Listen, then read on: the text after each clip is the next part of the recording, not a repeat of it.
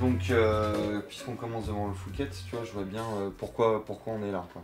Parce que c'est là où Sarkozy, à peine élu, a été euh, tout de suite dîner avec les patrons. Et que c'est euh, le, président, euh, c'est le président des riches, c'est le président des patrons. Et euh, nous, la première chose qu'on souhaite à tout le monde en 2012, c'est euh, c'est se débarrasser de Sarkozy. Ok, premier vœu. Et donc, euh, pour, le, pour le virer, comment on fait? Ça, tu connais? Déjà, Ah je sais pas comment on fait. euh. On, on vote Hollande.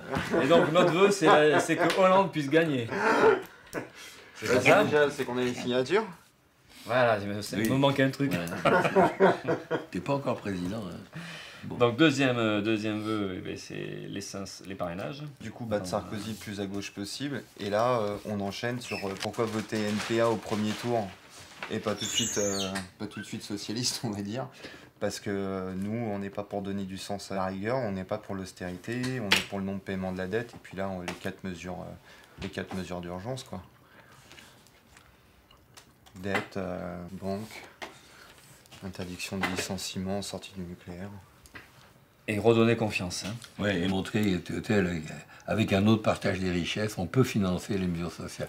C'est toujours le truc où les gens euh, disent oui, tout ça c'est bien joli ce que vous racontez, mais comment vous allez, la, la dette, la crise, le- Non, redonner confiance dans le camp, machin. Voilà. hein. montrer que l'autre politique est Euh, possible. ras-le-bol des politiciens professionnels, machin. Il y a aussi Se ce côté-là, quoi. représenter- Hein, se se représenter nous-mêmes, quoi. Le nous-mêmes, camp, ouais. on- Se représenter nous-mêmes, ouais. On se présente, c'est pour avoir des voix, mais avoir des voix, ça redonne confiance Ça aux donne gens. un sens, ouais. Bien sûr, c'est pas pour les. Tu, tu ne seras pas président. Bon, mais ne le dis pas. Ouais, Ah, c'est terrible. il faut le carnet qui, qui continue d'espérer.